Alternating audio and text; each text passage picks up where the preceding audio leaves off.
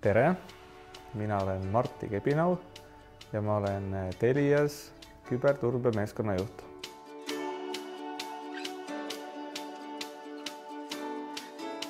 kõige olulisem, millega me siin tegeleme, on tegelikult see, et me tõstame Eesti inimeste teadlikkust äh, küberturbe valdkonnas, räägime küberohtudest ja oma teenustega aitame kliente ka nendes omade küberohtude eest siis kaitsta. näide äh, sellest, äh, mida me oleme siis saanud teha proaktiivselt, oli näiteks see, kui aasta alguses algas Ukrainas sõda ja sellega kaasnes äh, suur küberrünnakute laine tegelikult äh, kõikides äh, Venemaaga piirnevates riikides, nii ka Eestis.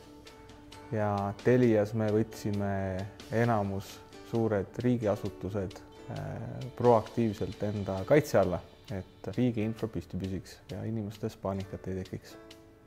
kaheksakümmend protsenti sellest tööst on selline tavapärane kontroll ja ana logide analüüs, aga siis see kakskümmend protsenti on nii põnev, et see kaalub selle kõik üles, see on tõesti põnev, aga sellest ei saa rääkida.